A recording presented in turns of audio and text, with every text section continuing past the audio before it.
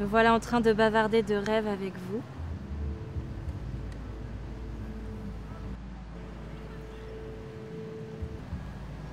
Faites voir ce que vous avez dans l'œil.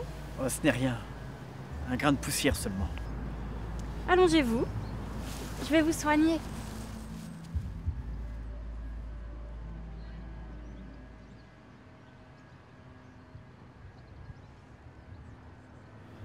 Restez tranquille.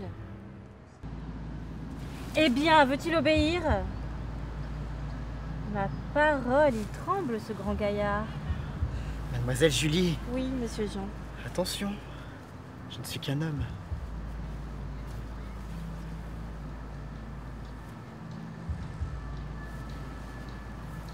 Voilà. C'est parti.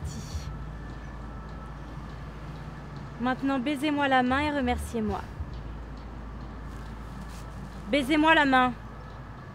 Bon. Mais ne vous en prenez qu'à vous-même.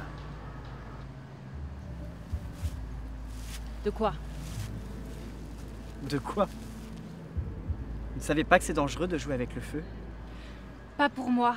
Je suis assurée. Non. Vous ne l'êtes pas.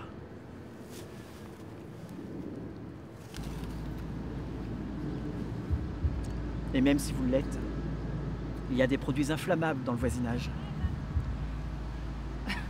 Vous voulez dire vous? Ce n'est pas parce que c'est moi, mais parce que je suis un homme jeune, mademoiselle. D'aspect avantageux. Vous croyez?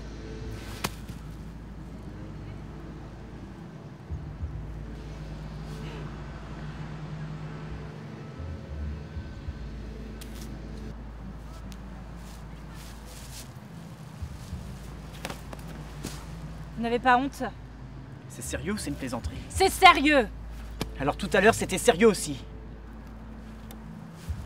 Vous jouez bien trop sérieusement. C'est ça qui est dangereux. Maintenant, je suis fatigué de jouer.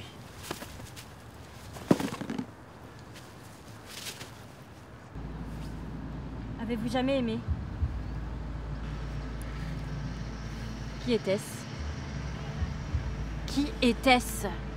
Vous ne pouvez pas me forcer à le dire. C'était vous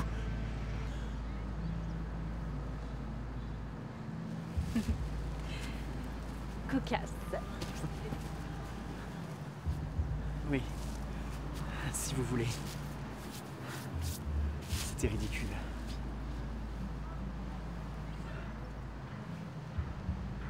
Voyez-vous, il y a une chose que je ne voulais pas vous confier tout à l'heure, mais maintenant je vais vous la dire.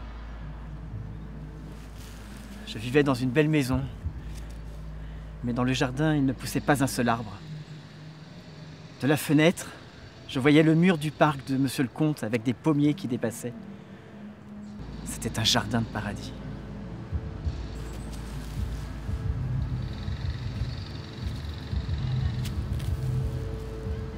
Oh. Voler des pommes, tous les gamins le font, n'est-ce pas?